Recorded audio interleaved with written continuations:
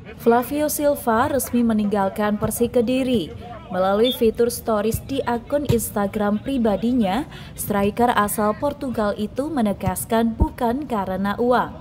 Menurut Flavio Silva, banyak faktor yang membuatnya memilih hengkang, namun dia menegaskan bukan karena uang. Flavio Silva sebenarnya mulai menjalin negosiasi dengan manajemen Macan Putih sejak November.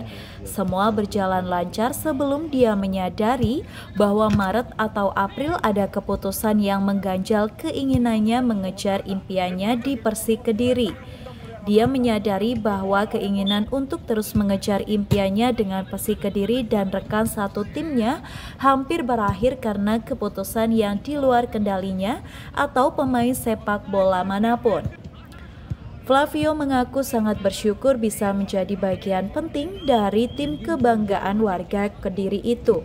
Saat ini dia tidak memiliki banyak kata untuk sepenuhnya berbicara tentang perjalanannya di Kediri, tempat yang akan selalu dia sebut rumah. Bersama Persik Kediri, Flavio Silva menunjukkan permainan yang cukup impresif. Dia merupakan striker rajin yang tidak hanya berkutat di kotak 16.